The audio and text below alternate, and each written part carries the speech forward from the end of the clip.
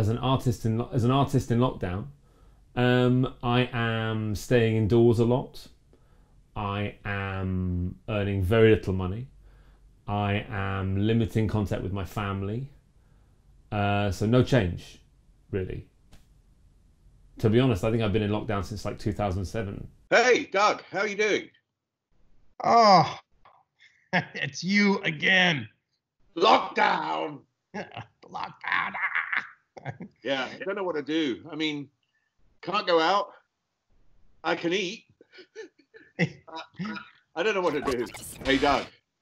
Uh, hey, Steve, what's going on? I can't stand writing some days. I don't know what to do. I mean, I'm fighting with the script every single day. I, I tell you what, if there's anybody that I know can pull themselves out of this funk, it's you. I mean, you always have that ability to pull yourself out. You, you just can't give up. Did it? What did I tell you? Yeah, no, no, no. I wrote the I wrote the log line and I wrote a pitch, and it gave me an idea how to change things. So yeah, I'm up. I'm a bit, you know, this is lockdown. You, you're the pitch king. You're the pitch king, man. After a while, we settled into our routine, you know, the family, um, getting up on time, getting kids to school, you know, on their computers. My wife and I in our home offices, we were establishing a new normal, something we could live with for a while at least. And um, and then I realized a month into the shutdown that the car had been sitting on half a tank of gas since the start of the quarantine. And then I saw, you know, when I'd sit on the back deck, I'd see more and more ver- birds of different species flying around the yard that weren't normal to our area, or at least didn't seem normal. And, you know, funny thing was, the air seemed even cleaner. I enjoyed having more time with my children, seeing them throughout the day, seeing my wife. This pandemic has been a real eye opening experience for me, especially as a writer. I had been passive in my writing for many years. I've written a few books and had received countless rejections for them. I got lost in the motions of everyday life. Other things would take priority, and as a result, my writing would be placed on the back burner. There would be months when I wouldn't even pick up a pen or write anything down. I would just be a complete blank. When the world went into lockdown, everything in my life had changed almost overnight. My grandfather had passed away right as the pandemic started, and I had to cancel my wedding that was supposed to happen in September as discouraging as those two things were, it really made me stop and think about what I wanted out of life. It made me realize that I didn't want to waste my life anymore. I needed to start writing more seriously again. So I started writing almost every day, and I felt more creative with each project. I felt like myself again. I had also started to shift my writing from novels to screenplays, and it was like an alarm went off in my head. I had been limiting myself for so long, thinking that I only had one path to becoming a successful writer. I didn't even think to exercise another option. Now I feel more determined than ever to get myself off the ground because I have this new perspective on things in some instances, the pandemic allowed me to reevaluate what was important in my life. It gave me the time to slow down and really understand what I wanted to dedicate my time and energy towards. Writing is my one true passion, and the pandemic made me fall in love with it all over again.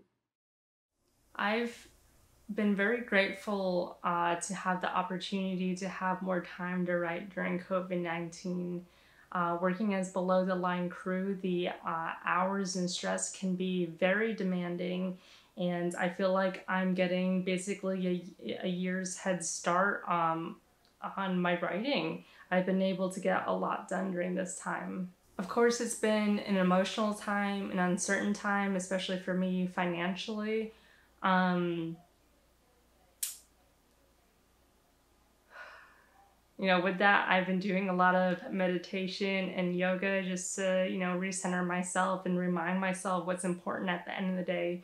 And what's important at the end of the day is getting you know these uh, missions these stories these visions outside of me to share with the world. I was having a really hard time writing. I had reached a bit of a confidence low um, before lockdown. I hadn't written much for um, a good six months i would say um, start of lockdown i had covid and then a dental abscess with no dentist dentist around so it wasn't great. But um, I have to say the lockdown has done me a, a, a good turn because I got about three months in, I think, so bored that um, I'd watched everything on the, the telly, on in the internet, on Netflix, um, and and I had nothing to do, and I was so bored. I made myself go and write so that I'd have something to do, and uh, forced myself to slog through a plotting and then a first draft, and I'm away again and I'm writing again and I've just finished um, a seventh draft or something like that on it now and I'm really pleased with it and I'm writing again and happy. So um, it's it's done me well. Can't complain too much. Like anything in life, lockdown has positives and negatives, right? Yin and yang, uppers and downers. On the one hand, I'm seeing a lot more of my family, right? But on the other side, I'm getting tons of good work done. So they're, they're, it's not all bad. Hey, Doug. Another Hey, day, another lockdown. Another day, another day. How But you I- doing? I got it. I'm going to write some scripts, but I got another thing because I just thought I need something to get up to in the morning, you know, like to get washed, get dressed, put clothes on, because otherwise I'm just not going to do it. And I thought, YouTube. I'm going to build a YouTube site. Why not? That's awesome. So, what are you going to do? Nothing. Doug, hi. I need a haircut. Yeah, you do. You should cut your own hair like me. Yeah, exactly. How's lockdown been for you? It's been great as a family unit, but it's really helped me with, with my writing. I think. How about you? The same. I mean, the thing is, I've never felt so concentrated ever because I have no choice. It's a, yeah, I hate the word, but it's like a, it's a journey, definitely, and it's been a good one, lockdown. And I think taking the bull by the horns was the, the best thing. And thanks for the support. Yeah, yeah, same here. I mean, it's hard to get through this alone. So I really appreciate everything you do, man. So Yeah, you should do. yeah, yeah. I've definitely had a love hate relationship with writing during quarantine.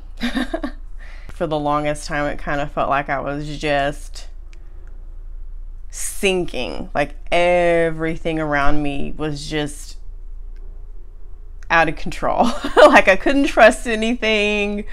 Um, the world as I had known it was just no more.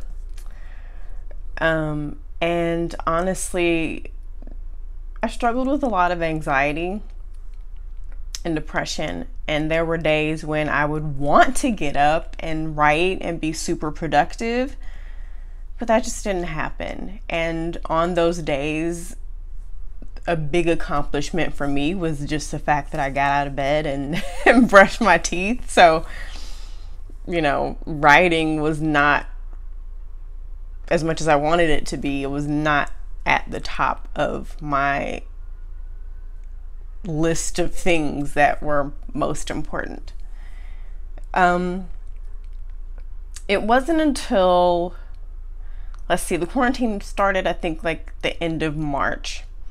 And honestly, it, wasn't until about the beginning of um, this past month, which would be July, that I kind of started to surrender to everything that was going on and and took on the attitude of, well, this is what's happening. You know, I could either continue to resist it and fight against it or I could just sink into it and surrender and create a new routine, which is non existent at this point because th- things are just so unpredictable. So I just made this goal that um, I got an idea for a story, for a script in July.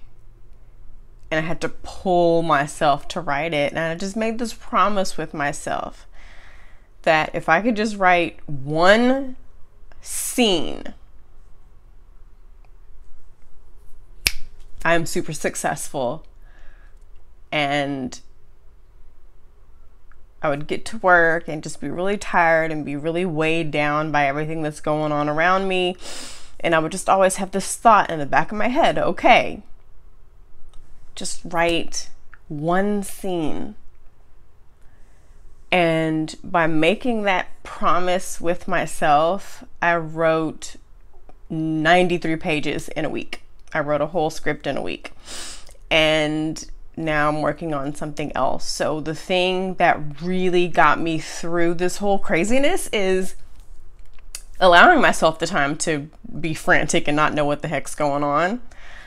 And then two, celebrating the small victories. If I can get out of bed, great. If I can't, okay. And three, just making little deals with myself. It might be writing a scene just write a scene. It might be just write 10 pages. It might be just write a page. But just surrendering to the process and and not resisting and once I, I did that the creativity came and here I am back doing what I love again.